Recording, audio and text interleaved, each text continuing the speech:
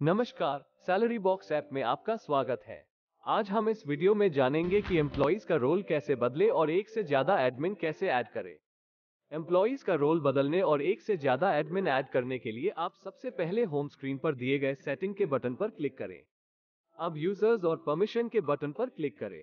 अगर आप एक से ज़्यादा एडमिन ऐड करना चाहते हैं तो एडमिन पर क्लिक करें। अब नीचे दिए हुए ऐड एडमिन के बटन पर क्लिक करें। अब नेम फ़ोन नंबर और ईमेल id भरें और ऐड एडमिन पर क्लिक करें।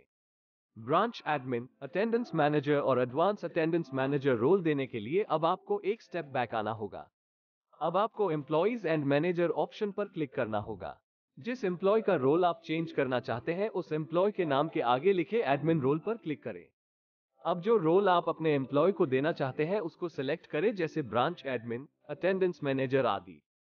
यदि आप अपने सीए यानी कि चार्टर्ड अकाउंटेंट को सैलरी बॉक्स ऐप में ऐड करना चाहते हैं तो आपको फिर से एक स्टेप बैक आकर चार्टर्ड अकाउंटेंट पर क्लिक करना होगा। अब नीचे दिए ऐड चार्टर्ड अकाउंटेंट के ऑप्शन पर क्लिक करें। अब नेम, मोबाइल नंबर और ईमेल id फिल करें और ऐड चार्टर्ड अकाउंटेंट पर क्लिक करें। वीडियो को देखने के लिए धन्यवाद। अधिक जानकारी के लिए हमारी वेबसाइट पर विज़िट करें।